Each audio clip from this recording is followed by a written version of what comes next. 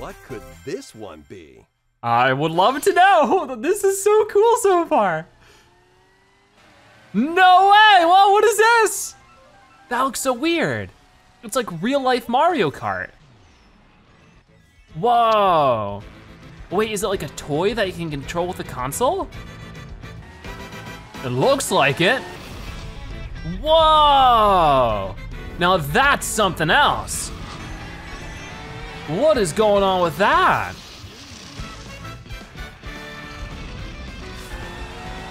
That's so cool.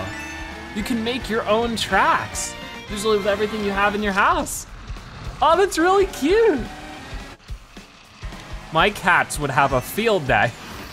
They'd be chasing that thing. Oh, there's a blooper.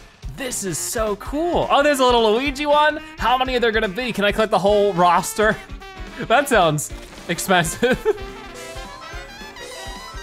so this is like even crazier than like Labo. Like they, they keep getting crazier ideas for the Switch. I love it. And you can just set up different courses. Wow. To like any specification you want. Wow. That is different. See ya, Luigi.